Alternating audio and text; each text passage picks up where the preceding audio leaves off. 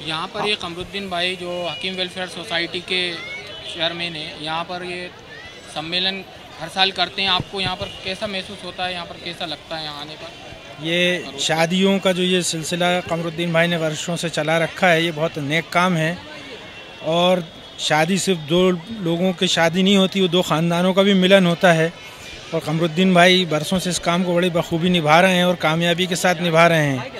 और आने वाले वक्तों के लिए भी मैं उनको बहुत शुभकामनाएँ देता हूँ। कि इसी तरह वो इस तरह के प्रोग्राम्स करते रहें लोगों को की शादी कराते रहें ख़ानदानों को जोड़ते रहें और इसमें अल्लाह आज का ये जो निका कार्यक्रम बहुत कामयाब रहा और इसमें कमरुद्दीन भाई और उनकी एहलिया और हमारे सभी लोगों ने बहुत मेहनत करी और सबको बधाई देते हैं हम। जिन लोगों के आज निकाह हुए उन सबको बधाई देते हैं और उनके क्या कहते हैं, अल्लाह ताला से दुआ करते हैं कि उनकी आस और उनकी इन शादी को क्या कहते हैं, शादी जो हुई हैं, आज जो निकाह हुए हैं, उनको कबूल करें।